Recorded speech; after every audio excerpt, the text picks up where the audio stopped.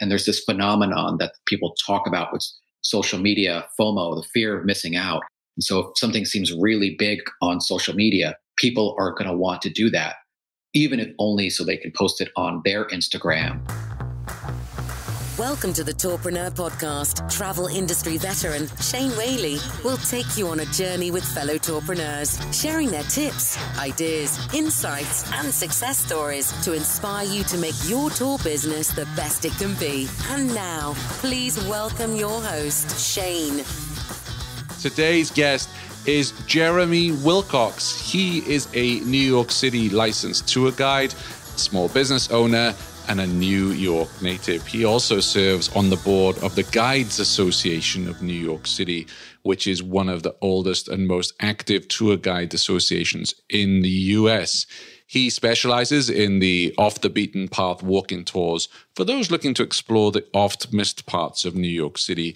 So we really dig into his tours, why he built them, why he's passionate about them. We talk about how he got started. And in fact, he had a really cool story about, you know, some of us go to a book club. He started a walking club where they would hit certain neighborhoods and he would give his friends a, a guided tour. That's before that he went into his business. And that was the catalyst. His friends said, You're really talented at this. This is what you should do. We talk about the important support of family and friends friends, how his spouse helped him uh, fund the business when he got started. We talk about how important his Guide Association of New York City is, the importance of networking. And we also talk quite a lot about Instagram and how Instagram has been a bit of a game changer for his business. And he gives us some tips around that. We also talk about the OTAs. I know I was really curious to learn how he's getting his tours discovered because he's an off the beaten path walking tour. So we dig into that as well. And I have a live little search online to see how the OTAs are helping or hindering Jeremy's business. So without further ado, I say that every week, don't I? Let's cross over to Jeremy Wilcox. Welcome to Tourpreneur, Jeremy Wilcox. How are you? Very good. Thank you. Really interested to talk to you today because you're wearing two hats, as it were. You are a tourpreneur, you are the entrepreneur behind Custom NYC Tours, and I definitely want to find out more about your business but you are also a board member at the Guides Association of New York City. So I'd love to find out a bit more about your work there and about what you guys are doing at the association as well. Maybe we can start off with what came first, Custom NYC Tours or the Guides Association? They both kind of came up around the same time, very shortly after I started my business. Being so new to the business, I realized I should meet other tour guides and network and just learn from them. So I did a Google search for New York City tour guides and found the Guides Association, joined very shortly after, started attending a lot of their meetings. And I've always tended to be someone that when I find an organization like that, I get involved, like really involved. So I started volunteering for committees, helping organize events for them. And within just under two years after joining, I'd been elected to their board. So wow. I tend to really go all in with these things. Just help me with the timeline. So you became a guide first. Was that for your own business or were you working with other companies? Yes, I became a guide first before joining the association, but I became a member of the association within six months of getting my New York City sightseeing license. And I've always sort of worked for myself. That was one thing that I had said from the beginning that I didn't really want to work for other companies. I didn't necessarily have the best experiences in my previous work before I became a tour guide. I kind of just wanted to see what would happen if I went out on my own. And that's more or less worked out so far. So I think I made the right call. Okay. So you built Custom NYC Tours first, and then I'm still a little confused with the timeline. So you went and became a licensed guide, and then you started your business. Said from day one, I'm not going to work for anyone else. I'm going to work for myself. Right. So the basic timeline is early 2016. I got my sightseeing guides license. And then I immediately founded my company, Custom NYC Tours. For the first month or two, obviously, that was a lot of figuring out what the company was going to be, planning out tours. Then a few months after that, I found the association, uh, joined them, and through meeting them, meeting other tour guides, it gave me a better idea of what other people did and therefore what I wanted to do. I understand. So let's talk about Custom NYC tours. So You got your certification, you were ready to go. How did you then go about? What were the first steps in building your business? So the first steps were coming up with a name and a concept. I mean, there are so many tour companies in New York City, many of them wonderful. And so I thought, if I'm going to go into business for myself, found my own tour company, what am I offering that these other companies can't offer? Because if I'm just offering the same thing as them, I'm just saturating the market more. The idea was I would offer small group walking tours, usually a maximum at most of 15. Usually in some tours, it's even smaller. So that would get away from a lot of those big group tours that you see all over the place. I think a lot of people were looking for that type of experience. And also the idea of providing custom tours. There's a lot of very niche tour companies, gangster tours, food tours, all wonderful. What I said my niche is going to be is everything. I was sort of, I guess, humble bragging that my knowledge of New York City was so extensive that you could name me any neighborhood in New York City or any aspect of New York City history or culture, and I could plan a tour around that. Wow. So that's what I wanted custom NYC tours to be. Any tour you could think of, and they would always be guaranteed to be small and intimate groups. Did you launch with one tour or did you have a basket of tours that people could choose from from day one? How did that look like for you? I started out with three tours that I had created, and it's grown since. First three tours I had created were a Brooklyn Street Art Tour, that is a passion of mine, a World's Fair History Tour in Flushing Meadows, and tour of my own neighborhood, Flatbush, Brooklyn, and more about the history and architecture of this neighborhood. And then I sort of starting out with some of those and meeting other both guides, but also a lot of tourists, sort of learning about what they wanted to see and adding more tours based on, well, like what are the areas that people seem most interested in? Yeah. And how did you go about getting that research? How did you know, right, I'm going to create these three tours because there's demand for it rather than I'm going to build these tours because I'm passionate about them? It was actually more the latter at first. I thought these are tours that I'm explicitly passionate about. I thought that they were tours that people would be interested in. And I said, I'll sort of figure out if the demand is there later. And you sort of learn, you come up with some ideas for tours where you realize the demand is not as strong as you think. But so I started from my own passions and then kind of actually worked backwards from there, learning about what people were interested in.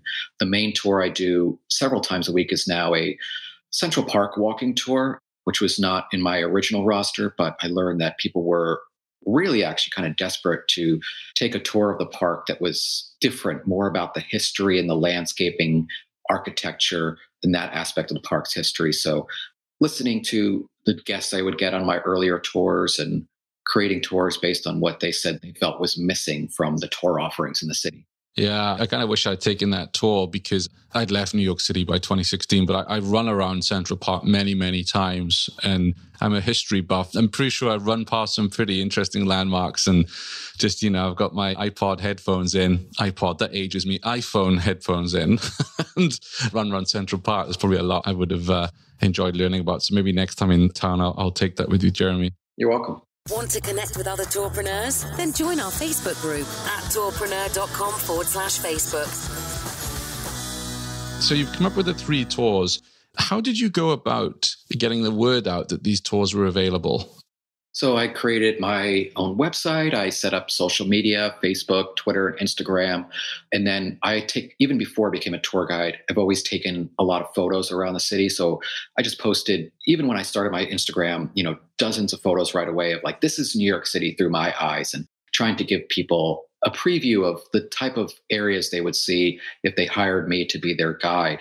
And so a lot of word of mouth, and obviously then realizing early on that you kind of need to partner with some of these third party sites like Viator, now TripAdvisor experiences, some of these other places where you list your tours and they kind of do a lot of the promotion for you. Now they obviously take their commission, but you know, it's sort of worth it in terms of what they provide you in terms of exposure that your own website won't give you.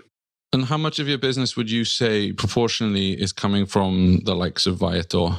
I would say at this point, it's probably actually more than half, somewhere around 55, 60% uh, some years. So I am getting most of my business through some of those third party sites, which is fine. They give you, you know, good exposure. The commission is reasonable. and then do those sort of public tours for them while also saving about half of my schedule to do private and custom tours, which I obviously were originally going to be the focus of my business. So you've got your tours listed. We'll, we'll use TripAdvisor experiences for now. So you've got your tours listed there. So what tips have you got for other companies who are out there that maybe you know, for instance, when I go to an OTA site, generally I see, you know, Statue of Liberty cruises or One World Observatory or Top of the Rock. It's kind of those well known products that are at the top. What are they doing to promote your tour to people who don't know you exist? I think it's, you really got to know how to word it so that it sounds differently. But the main thing I think that's helped me is just really good reviews, which are, you know, word of mouth. Like you can look up, say, my Central Park tour there's a lot of Central Park walking tours on these sites. What makes mine stand out is you could see, oh, he's got so many reviews. And the thing I think that also helps me is that when you read the reviews for my tours, most of them mention me by name. And so it's not just this was a good tour of Central Park. Well, there's a lot of very good tours of Central Park, they mention Jeremy. I spent time in Central Park with Jeremy and it was a wonderful experience. That to me, if I were reading that, I would say, oh, this is going to be reliably the same guide. This is not just a company that's sending out whatever guide that they have on hand that day. You know you're going to get this person who these other reviewers are talking about. And the fact that they remembered the guide's name enough to mention it in the review tells me that this was a very personal and memorable experience. So I think in that regards, it's a little bit subtle, but I do think that that stands out people's minds versus like, oh, look how this clearly seems like a much more personal experience than these other products. Yeah, I understand that. I guess where I'm struggling a little bit, for instance, is if I type in, so I'm talking about discovery here, right? Because this is the key thing. If we want to grow our tour operator businesses, like we have to be, people are able to find us, particularly those tours that people may not know exist. So if I put into Google, for instance, walking tour Central Park, I get centralparkdiscovery.com, I get bike tour Central Park, and then I get tripadvisor.com. But when I click that TripAdvisor link, that takes me directly into Manhattan and beyond tours, the Central Park walking tour. So that's taken me directly into one walking tour. I don't know how they've picked that one above everyone else because I would expect that it would lead me to a page where there are several and I can pick the one I want. And then if I come out of that, the next one down is Viator and I click that link. And this is one of my frustrations. And regular listeners know I used to work at Get Your Guide, so I used to see this a lot so under the Central Park tours, I get Empire State Building tickets, NYC One World Observatory ticket, Statue of Liberty tour. Okay, one day guided sightseeing tour, 9 11 Memorial Museum, Big Bus New York hop on, hop off tour. Like none of these are going directly to walking tours in Central Park. Yeah, that is something that I've actually tried to bring up to these sites before, and they seem increasingly not responsive. Is that their search sort of algorithm is not very precise. And what I was more or less told and was that, oh, it used to be very, very precise, very, very precise. Nowadays, they'll just be straight up honest with you if you ask them directly. They're going to direct their customers to the tours that sell the most, whether they're relevant to the search or not, because then they get a greater commission from their business end. I totally get that. But for example, if you go to the actual Central Park page on TripAdvisor, there is a link where you can click and say, here are ways to experience Central Park, and they'll have a listing of tours. Some of them, as you noted, are not necessarily as relevant, but mine would show up in there. And I believe what makes mine stand out is the reviews. But a better example of how I sort of used recognizing how to use search to my advantage Earlier this year, the Hudson Yards development, the first phase of it anyway, sort of opened up to the public, the shopping center, the vessel, these new buildings that are there. Doing High Line tours from the beginning, I was watching this development go up and I said, you know, when this opens, there's going to be demand for people to want to take tours of this Hudson Yards development. So I said, I want to make sure that I'm the first person out there with those tours. So even before it was completed, back when it was still a construction site, I set up on my website a tour that would be partially of the High Line and partially of Hudson Yards.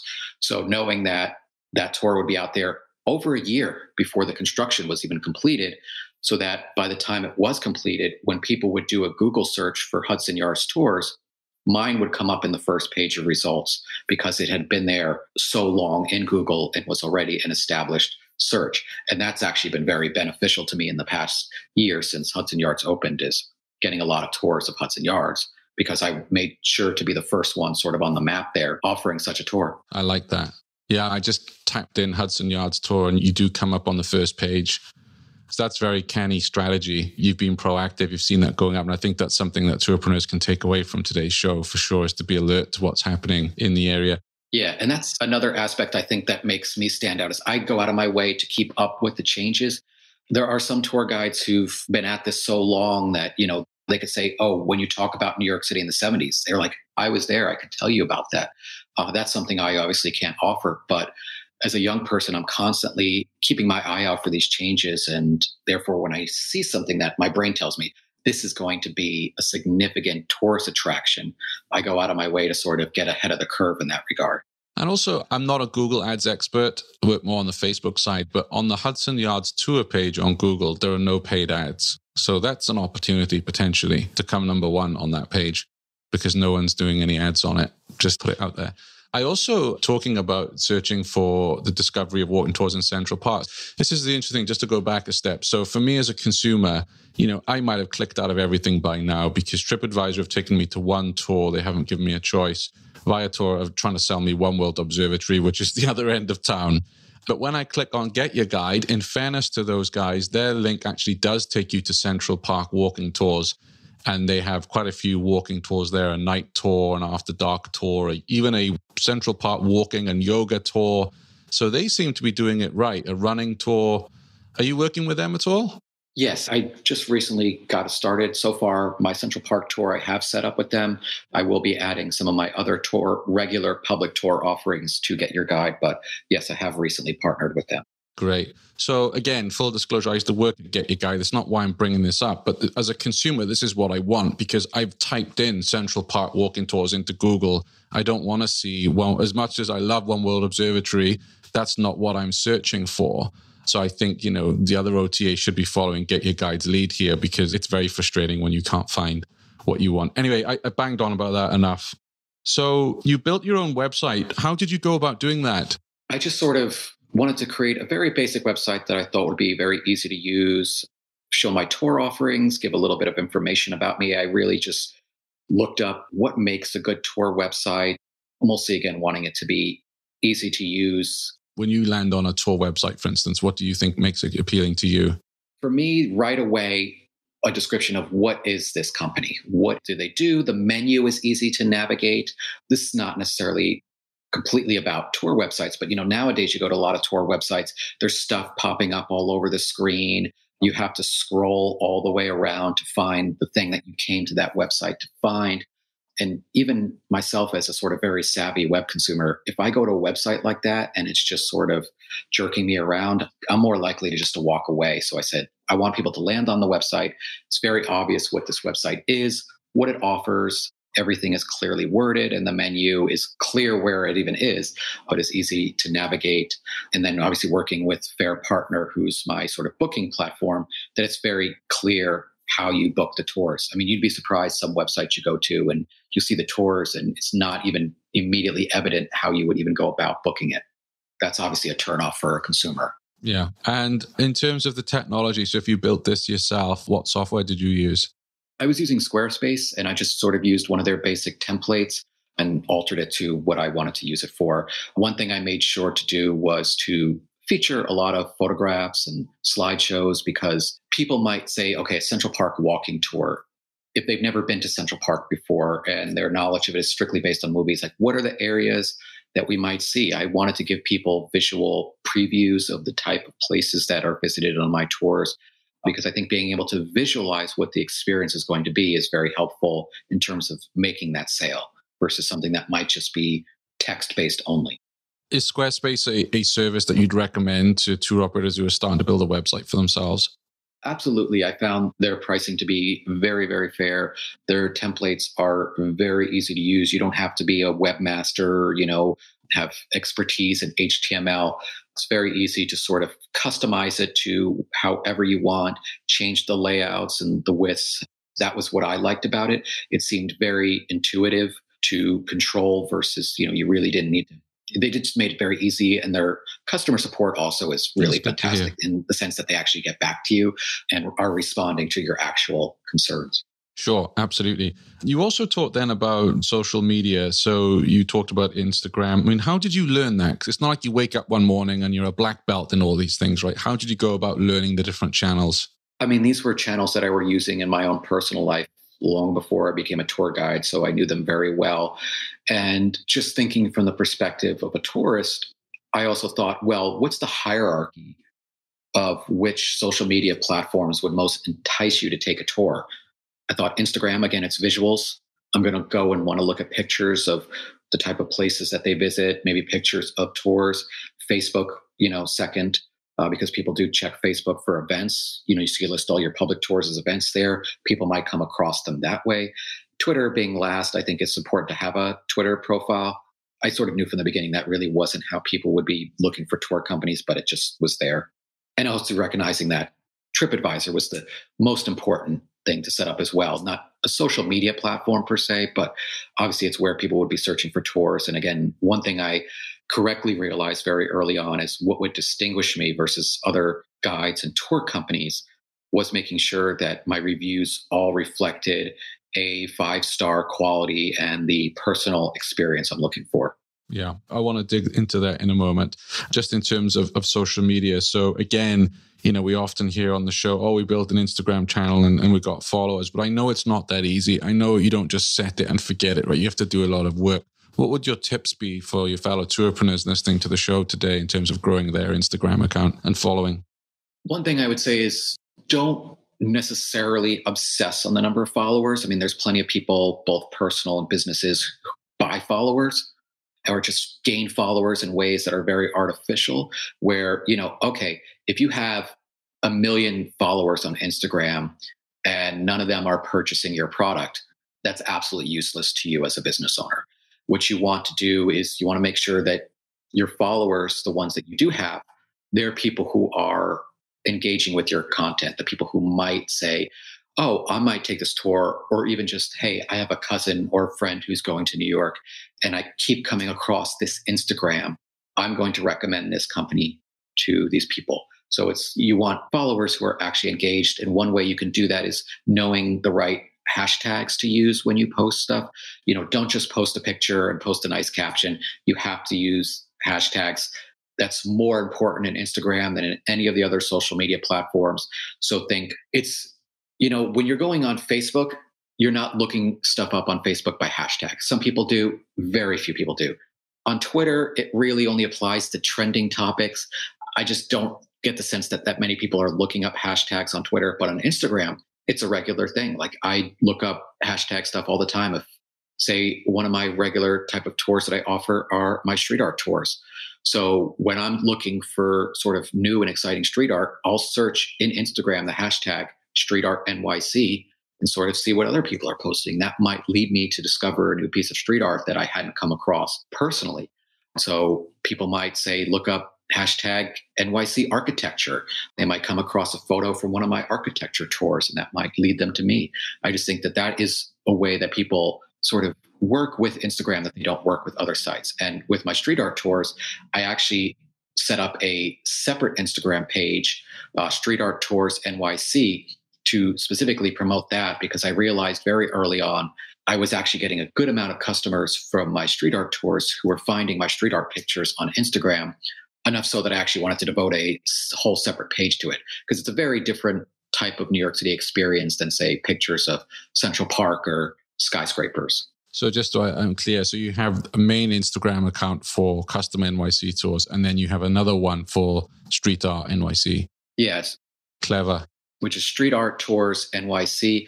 That one is just strictly focused on pictures of New York City street art, pictures from the tours, and just enticing people that the idea similar to what I was talking about with some other tours is, oh, this guy has pictures of, you know, thousands of pictures on his Instagram of just New York City street art. He clearly knows the street art scene. He knows the artists. He knows the areas. This is clearly a guy that I would hire to show me around this aspect of New York City culture. And with Instagram, because I'm not that up on it. I have an account. I don't post on it anywhere as much as I should. But is there an algorithm like the more that you post and the more likes you get, the more it gets shown in people's feeds? How does that work? Yeah, it works similar to Facebook in that regard. It used to strictly be chronological. Now there is an algorithm. The algorithm is partially based on things that other people are engaging with more. It's based on, say, if you like photos from other people you follow with certain hashtags on them, it tells Instagram this person wants more photos with these type of hashtags. So they'll put those into your feed more. One other way that you can increase your engagements on instagram is by using the stories feature because when you're using instagram through the app the stories are always up on top. So if you have recent stories even if a photo of yours is lower down in the actual feed your story will be up there near the top and that will get people engaging with your page more Right. Maybe I should have an episode on this and, and, bring a few people on like yourself, and we can do a whole episode on Instagram because I think it's fascinating. And I think it is an area all of us can improve because I just feel that Instagram is far more, you're right, it's far more suited for people who are searching for an experience than Twitter and, and Facebook are. And it's just become such a phenomenon in the tourism world. If you read these articles now about, you know, quote unquote over tourism, a lot of the people talking about it actually blame Instagram because besides the fact that global travel is now more accessible economically to people, now on Instagram, you see people, some of these are just these, you know, sort of fake influencer types, but you see people taking these photos in Venice, photos in Iceland, and it's exposing people to these places that they never thought to go. Iceland is a great example, which, you know, obviously their government made a big push for tourism. But one of the things that really drew a lot of tourists over the last decade to Iceland as a destination was people seeing photos of the Blue Lagoon and the glaciers there and, and, that they saw on Instagram. And it looked very glamorous. And it became this thing where people wanted to get those photos. People wanted to get those exact, replicate those experiences that they saw on Instagram.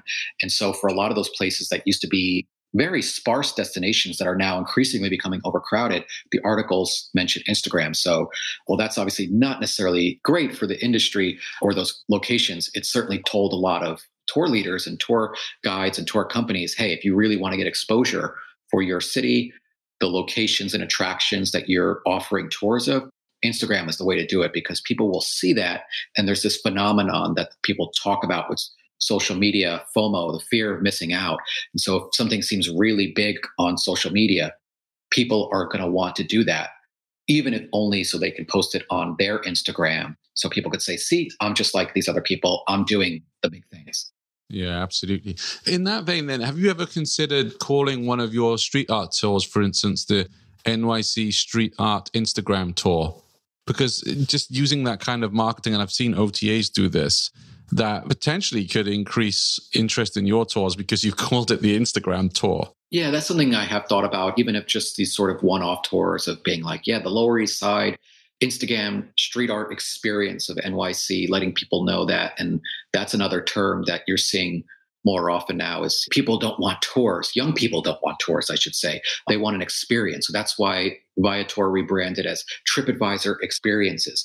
That's why when Airbnb launched their tour sub company, it's Airbnb Experiences.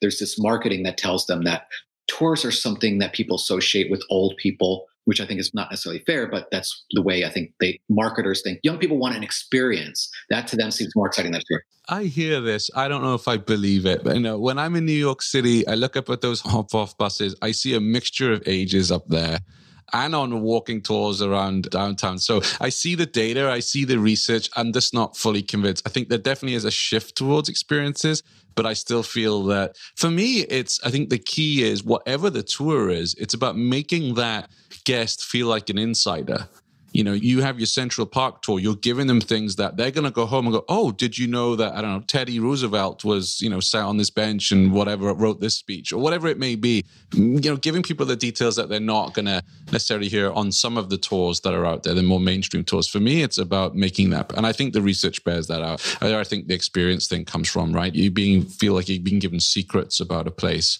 rather than no, there's Statue of Liberty and there's One World Observatory. You know, you're actually getting those facts. Anyway, that's just my private view. I still feel that traditional tours are extremely popular. Right. And you know, the thing I always tell people is, you know, sometimes you get this question as a sort of tour company. It's like, well, why should I hire you? Why can't I just get a guidebook and walk around?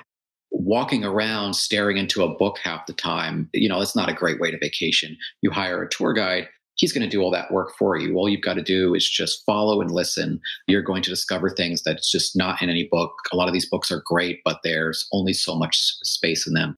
And because New York City, more than most American cities, is so constantly changing. Yeah, absolutely. Hudson Yards being a great example of that. Honestly, by the time a lot of these guidebooks even get to print, even if they're the most current edition, they're already out of date. Restaurants have opened and closed. New entire neighborhoods have been built up. There's new skyscrapers.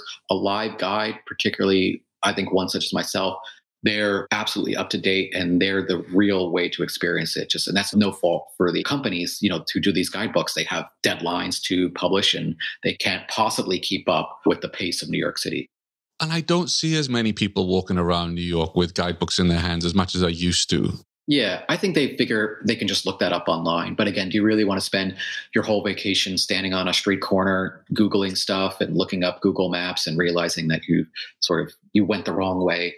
With that being said, do you feel there is a threat to tour guides from audio self tour guides? Absolutely, because even if it's a small percentage of people who are going to choose that over a live guide, well, you know, I'm sure you know from talking to so many tour operators, this is not a business that most people are getting rich in. They're doing it because they love it. Absolutely the case with me. And at best, you're making a decent living. You're not exactly, you know, going to get rich and retire early. So even you lose just a fraction of your customer base to that new technology, that really adds up and will over time. So that's something that I'm concerned about. So there's nothing I can do to change the pace of technology.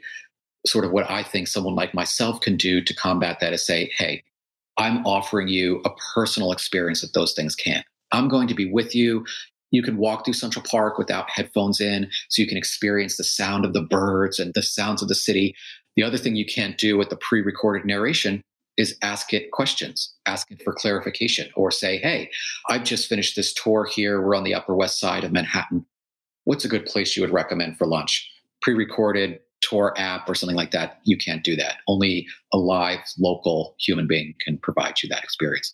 And so I think if anything, it just forces local guides to up their game. You can't just get by on well enough anymore. You've really got to make yourself a personal five star experience of a human being. Definitely. No, that that's wise advice. Never miss an episode of the show. Subscribe at tourpreneur.com forward slash subscribe getting back to you built your website, you're on top of your social media channels. Just on Instagram, before I move on, are there any apps that you recommend for tourpreneurs to use? Because somebody was telling me the other day that Afterlight, I don't really use this stuff, but in terms of filters and changing colors and everything, are there any apps you use to enhance your photos? No, there's no sort of third party apps. There are sort of built in filters within Instagram that I've just personally found sufficient. Okay. And one obviously thing that Instagram has done besides adding the stories is now you can add a slideshow. You can do 10 pictures in one post. Oh, wow. So if you're posting photos from a tour, you can sort of post a slideshow photos and it gives people a better experience. But there are some good sort of third party photo editing apps out there. I've just never used them. I found that Instagram's own internal editing is sufficient enough for me. Sufficient enough. Okay, that's great. So the big question for you then, like I say, you've got your website, you've written out your tours, you've got them planned out, you're on your social media, you've got an agreement with some third party OTAs to work with. How are you funding yourself at this stage? Just sort of all by myself. I mean, I was also very lucky to have a husband who has a, a you know full-time job. And so when i first started out and obviously any tour guide just starting out you're not going to be making a living off of this.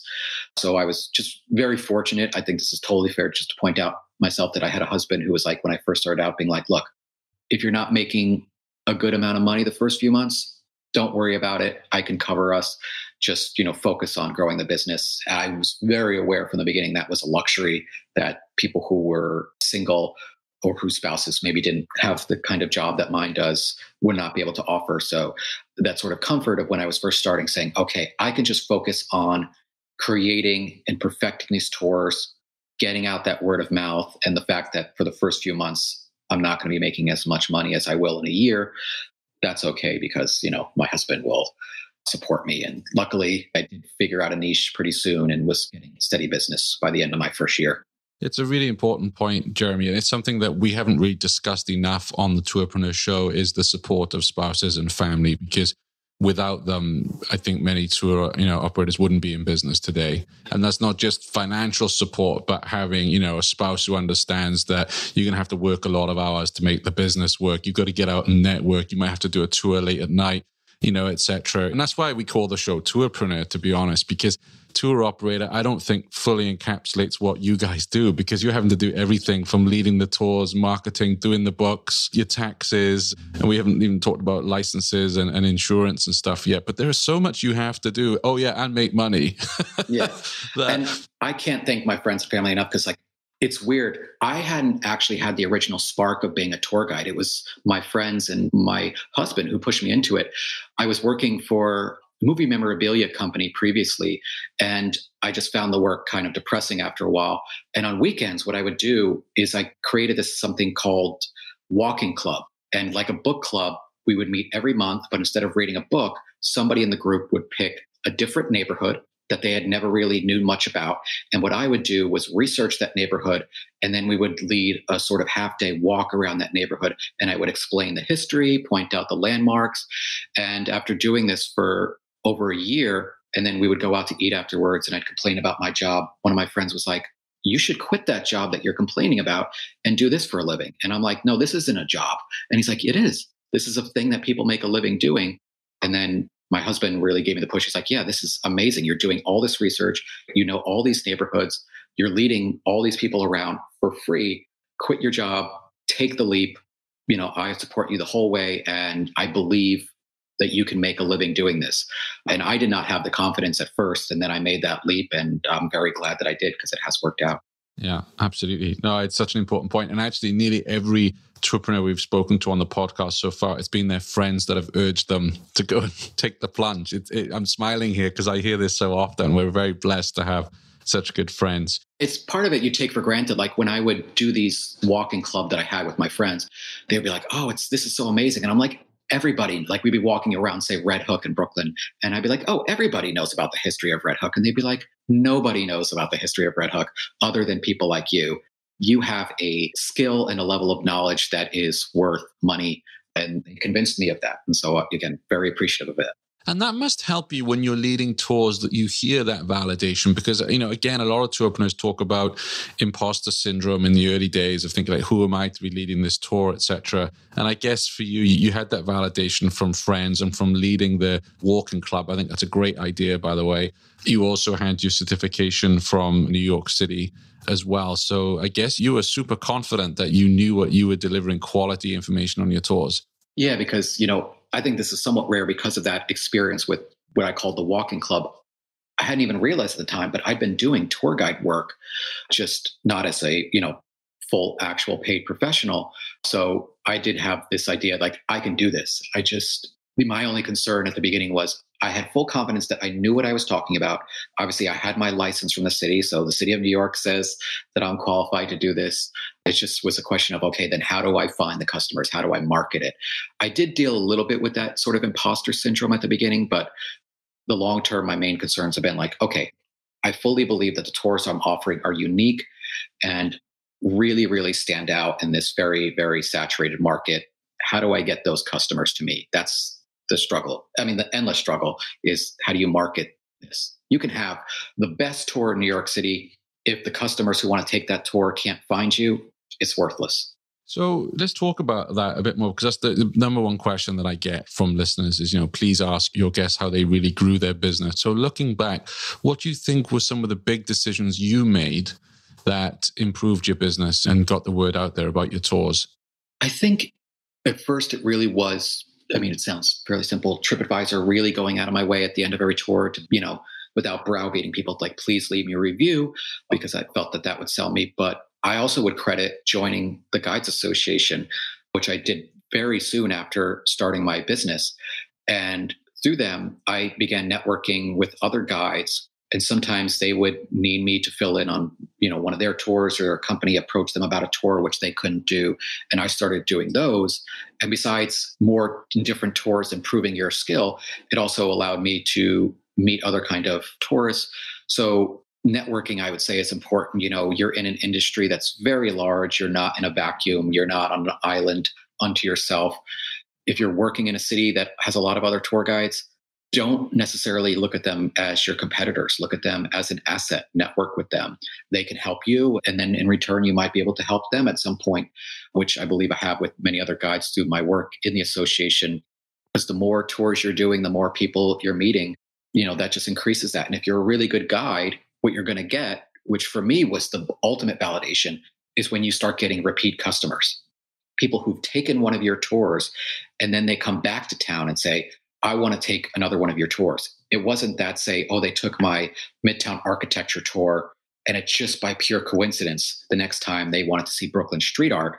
I've had cases where customers have contacted me and say, hey, I'm coming back to New York City. I really want to take another one of your tours. What do you want to show me a tour of? Like, what do you recommend? And they're really saying that you are such a good guide that I want to experience New York City with you again. The subject matter is up to you. That's not even what's most important to me. That's really amazing because, you know, there's plenty of tour guides out there. You can also experience the city by yourself and just try and wing it. Somebody says, I want to spend time on my vacation with you again, two vacations in a row. Like that's very flattering. It is very flattering. And I want to go back to your point about working with other tour guides and other companies because you're quite privileged there in New York City that you have, you know, various networking groups that get together and have beers and, and discuss the industry. You also have the Guides Association. I'm just thinking about some of those cities around the world, some of those towns that don't have anything formal. I would suggest, and maybe this will be, we will bring you back on and talk about this on another episode Jeremy, is how people could go about building their own association, even an informal once a month or every three months for, for pizza and wine or whatever, and get to know your fellow tour guides. Because like I know New York City, San Francisco, uh, pretty London, very well advanced when it comes to networking, but not every city is. Yeah, and that's you know very important. I mean, the one benefit of say if you're leading a tour company in a city where there isn't as much of a saturation of tour companies as there in New York is, well, that's less competition, but more ways that you could use social media, word of mouth, viral advertising to make yourself stand out. Pluses and minuses are great in New York City of being a guide. Pluses, we're the most visited city in the country. You know, we've had over 65 million visitors last year.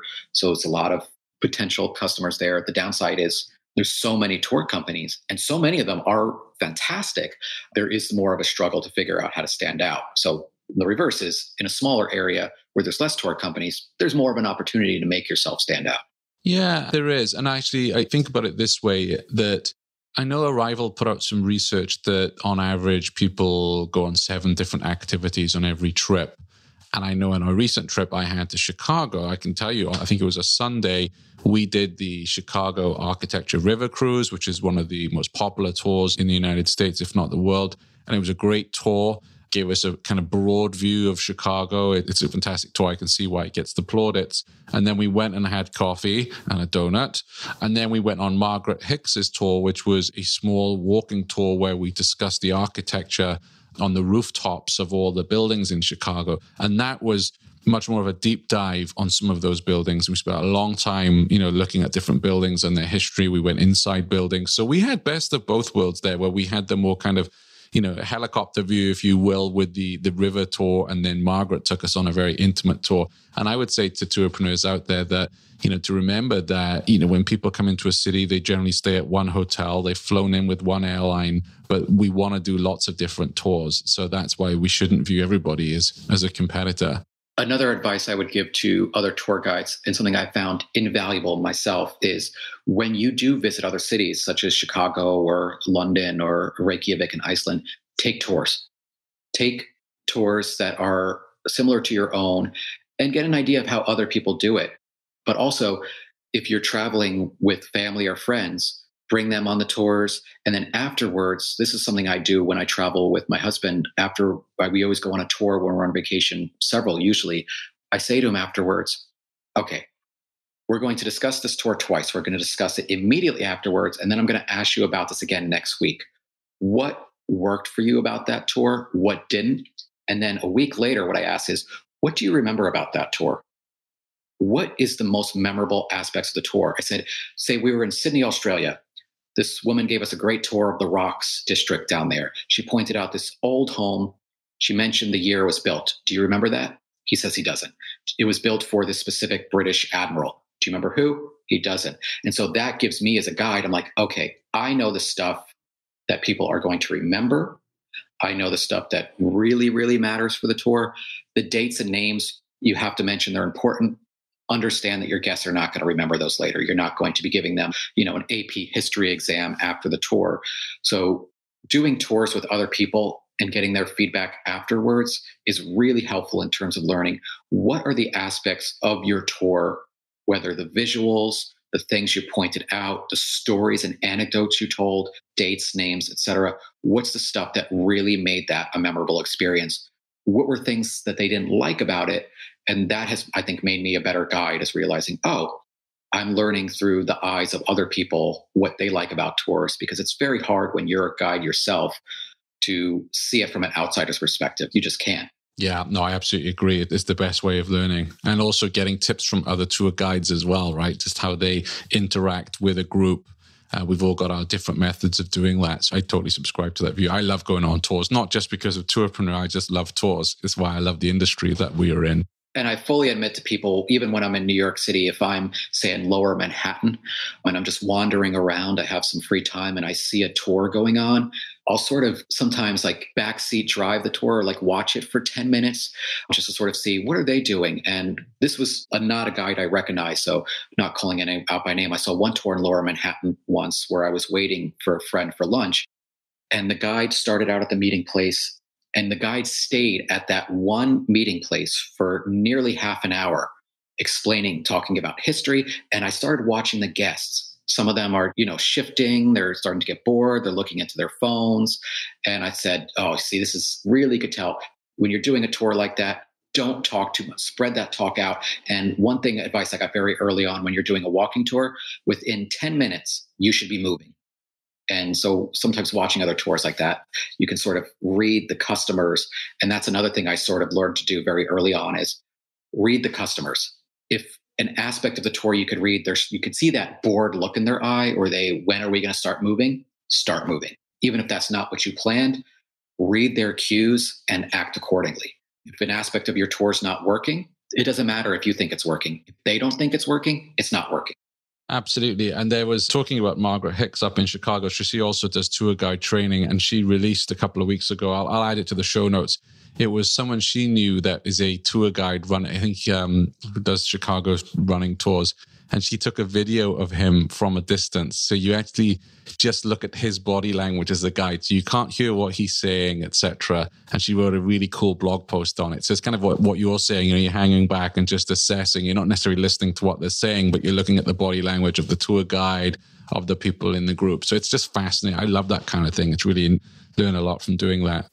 Did you know every weekday Shane curates the most interesting news articles in tours and activities and sends them out in a snappy daily digest? Grab your copy of the Tourpreneur Daily Briefing at www.tourpreneur.com. So we've talked about you launched your business, you got your first paying customer. What's really the most difficult situation that you've experienced and how you overcame that in your business? Difficult situations uh, vary. One thing that I didn't expect at first, I'm not necessarily sure if this is what you were sort of getting at, but sometimes you get customers on the tour who book the tour and they don't speak any English. If it's a private tour, you know, you can sort of readjust on the fly. But when it's a public tour, sometimes you get these customers who they'll say, We don't speak English. Could you speak slower or do this? And it's a public tour and you want to give them a good experience, but at the same time, you have a whole group. Another example of learning how to sort of gauge difficult customers is, you know, sometimes you'll have customers who are late. And this is a thing that you sort of learn by doing is how long should you wait? What should your policy be? Or what if customers are being difficult during a tour? How you should handle that? The president of the Guides Association, Michael Dillinger, gave me advice early on when I said about stuff like that. He's like, look, it's a numbers game. If you've got a dozen people on a tour and two of them are being difficult, or two of them expect you to give the tour narration in a different way because their English is not so good, you got to give the tour for the majority. It's better to have two dissatisfied customers than 10 on a tour of say a dozen. And so you just you do your best. Difficult situations you have sometimes where you're giving a tour, yeah, and the customers are just very difficult. They're complaining about something, you know, sometimes if the weather's not great, they'll blame you because it's too hot or it started to rain during the tour. You just got to learn how to be patient and what's the professional way to deal with that. Because I think for the other guests on that tour, that's going to give them a cue of what type of professional you are. How do you deal with the problems? If you get angry or you lash out or you react in an emotional way, that's going to affect their view of you as a professional. So just know what's the professional way to respond in situations, but also make sure that the majority of the people on the tour are getting a good experience in what they paid for. Even if this, luckily, this very rarely happens, you do have to upset. A good example is I had one tour a Central Park tour where we had two people on a public tour who were very, very, very slow walkers to the point where we were constantly having to stop and wait for them to catch up. I realized about a quarter through the tour, we were never going to finish the tour at this rate. So at some point, I, when we had a stop, I quietly and politely pulled them aside. I said, "Look, I apologize. This tour does have a very set, you know, route. It does have a very set pace we're just going to keep going. I hope that you can keep up. But if you can't, I apologize. We do have to cover a lot of ground. And by about halfway the tour, they just sort of gave up and left, which I felt horribly about. But I had to ultimately look out for the majority of guests on the tour who had to get the experience they paid for.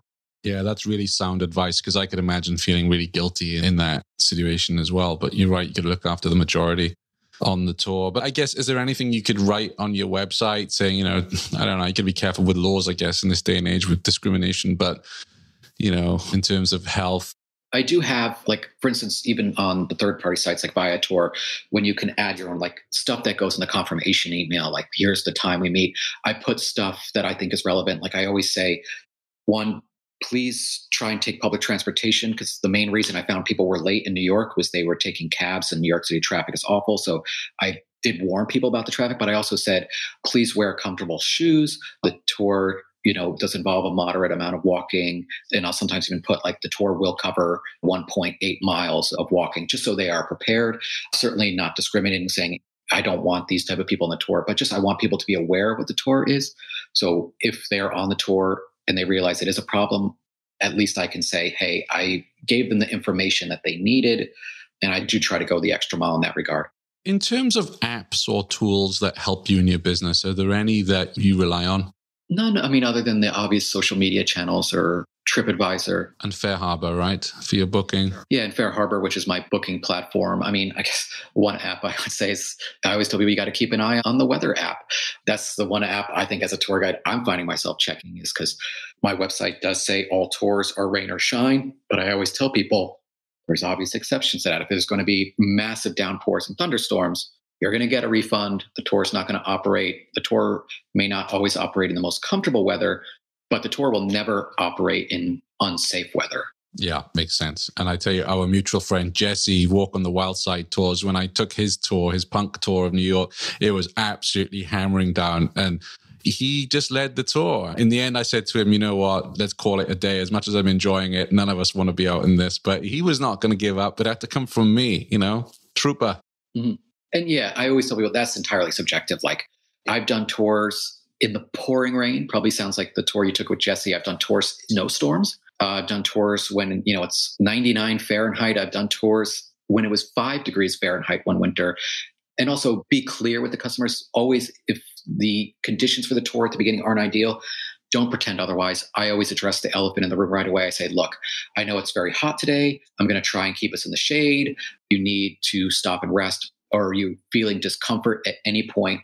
Let me know. I think that also helps people is if you're not ignoring it and you're addressing it up front and you're saying, look, I know this is not ideal, but we're going to do the best we can and I will make alterations to the tour to try and improve the experience today. I think that helps as well. For instance, in the winter, here's another piece of advice I would give to people who do tours in city that like Chicago or New York or Philadelphia that have cold winters. There are these things you can buy at pharmacies, these little hand warmer packets. In the winter, I buy them by the box full. And I just obviously write it off then as an expense for my taxes. And I bring them onto every tour I do in the winter. And at the beginning of the tour, I hand them out. I say, I appreciate you doing a tour in the winter. A lot of people don't. I know it's cold. Here's some hand warmers. If you need more, let me know. And just those little acknowledging the reality of the situation and those little personal touches really, really help. That's huge. I wonder if you can get those branded. I actually hadn't considered that, but I'm sure that you can. That'd be cool, right? Yeah. Yeah. Custom NYC tours, hand warmers. Hand warmers. And on the really hot summer days, you know, you're approaching triple digits in Fahrenheit. I do bring extra bottled water in my bag because hydrating is important. And you'd be surprised how many people don't bring water with them. So I say, hey, I'm thinking of you. You're not just a number to me. You're not just dollar signs to me. I recognize that you're a person who's on vacation and you want to have a memorable one. I'm going to go out of my way to try and go that extra mile to make it extra helpful for you. Well, I can tell why you get such good reviews because it's clear to us all on this uh, conversation today how much you do care about your guests. And I want to wrap up by a couple of quick questions here. Were there any books or podcasts that were really helpful to you when you were starting your business or even now sustaining your business that you think other entrepreneurs should read or listen to? Not to flatter you too much, but this podcast is helpful because learning how other tour entrepreneurs started their business is helpful. You sort of you learn the similarities and differences. But books just you know read a lot of books about new york city. I mean they could be deep dive books like the gotham books or just basic books like you know one book that i bought very simple book. There's a book about a guide to interior landmarks in new york city. And sometimes you find places you didn't know about but it's just it's good to have these guides.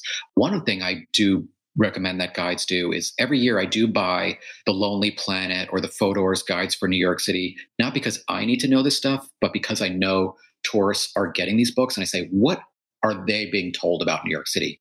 What are the attractions they're being recommended? Staying up to date on that stuff is very important. Absolutely. What's the greatest piece of career advice, business advice that you'd like to pass on to our listeners? I think again, good advice like, you know, when you have large public tour groups, you have to worry about the majority more than, which luckily rarely happens, one or two problematic people, but just recognize. I think the best advice I got was not every person has the luxury of taking these vacations or taking these tours. People are voluntarily giving part of their vacation money and time to you you really have to provide them with a great experience. So don't just walk into a tour and again, just see everybody as dollar signs and as income. Recognize that these are people who are putting a big part of making their vacation memorable onto your shoulders. And that's kind of a responsibility. And to make sure that you, you know, you earn that. I mean, this is a great profession, but you really are responsible for people's memories. That's why on my website, you know, I say we make New York City memories. It's not just about checking stuff off of a bucket list. I want to be a part of your vacation memories. And I recognize how important that is.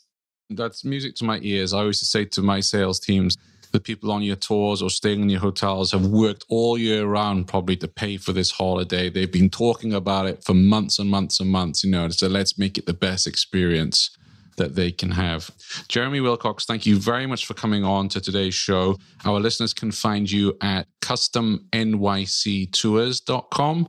And I guess all your social media, yep, they're all there. So go take a look at Jeremy's Instagram feed. Is there anything we haven't covered on our chat today that you would like to address?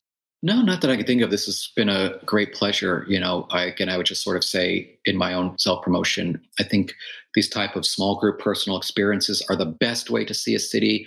That's the best way to see a city is, you know, just get on the ground and experience it like the locals do, however best, you know, that's going to work out for you.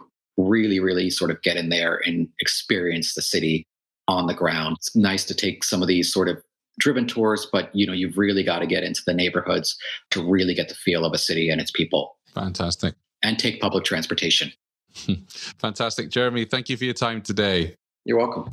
Thanks for listening to the Tourpreneur podcast. Be sure to visit tourpreneur.com to join the conversation and access the show notes, including links to the resources mentioned on today's episode. This is Tourpreneur.